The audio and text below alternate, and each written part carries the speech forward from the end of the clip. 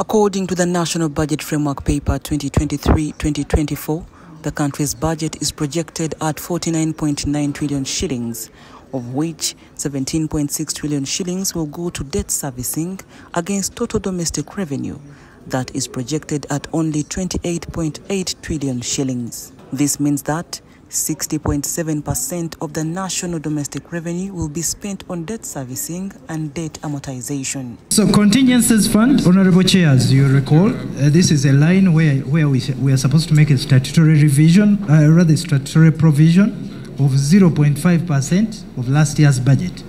Uh, but uh, unfortunately, this is never provided, so we end up running for supplementaries when we should not. This vote, which has got 17 trillion, is all to be spent on the money we have borrowed and to manage our debt.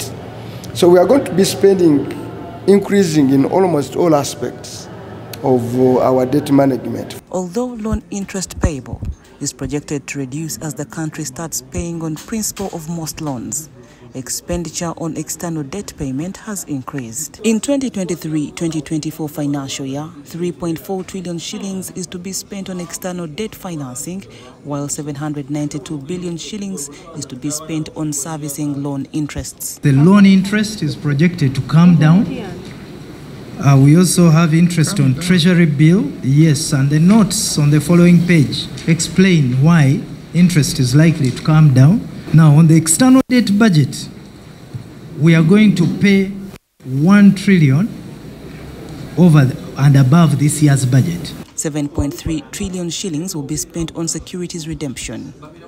Treasury bonds have increased to 4.2 trillion shillings as a result of issuance of more short-term securities to issuance of more long-term instruments, while 697 billion shillings is to be spent on interests on treasury bills. When you look at the debt payment, it is quite, it's quite huge and a significant part of our budget is going to debt payment. That's why we are finding it that government is cutting. It's cutting the budgets of other entities. It's trying to cut from other ministries to be able to, to finance and pay off its debts. Expenditure on promissory notes is projected to increase by 282 billion shillings as government is expected to pay five promissory notes to International Specialized Hospital of Uganda and two bills of exchange for Roko Construction shares, scheduled to mature in the course of the financial year. Interest on treasury bonds is expected to grow from 4.133 to 4.208. Then we have these others.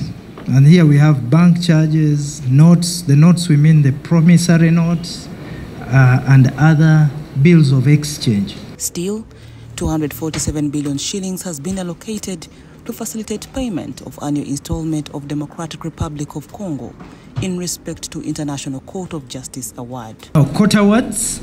Uh, this year we had two lines, one called court awards, and then uh, the other one, the, the ICJ case was uh, budgeted under that line below, which says arrears budgeting. So for next year, we have only combined them as court awards for better budgeting. So last year we had the 106 plus the 289 billion.